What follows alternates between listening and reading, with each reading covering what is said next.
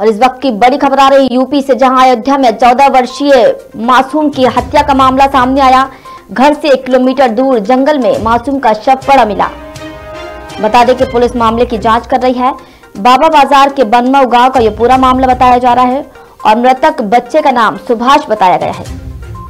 बता दें कि बच्चा रविवार सुबह से ही लापता था और अब घर से करीब एक किलोमीटर दूर जंगल में चौदह वर्षीय बालक का शव मिला है।